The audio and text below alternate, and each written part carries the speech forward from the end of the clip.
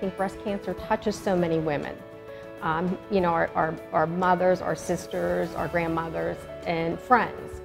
Um, so I think by showing the support and buying pink party pieces, um, not, I mean, not to mention they're beautiful, it just shows the support that you can provide.